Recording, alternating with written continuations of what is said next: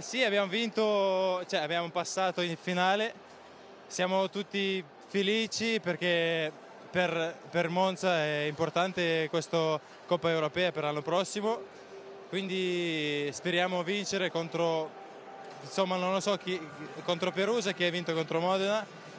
eh, quindi ci vediamo sabato a, a Perugia, aspettiamo i nostri tifosi, grazie. Eh, in secondo set ha fatto la differenza secondo me che noi abbiamo, cioè, prima, prima, soprattutto abbiamo giocato a casa, eh, quindi do, dovevamo tirare battuta più forte, eh, come abbiamo fatto, ha fatto ACO alla fine, poi siamo, siamo, abbiamo fatto bel lavoro in muro copertura Insomma, questo qua. Sì, speriamo che di là facciamo partita diciamo più bella per tutti da vedere e tecnicamente come è andata.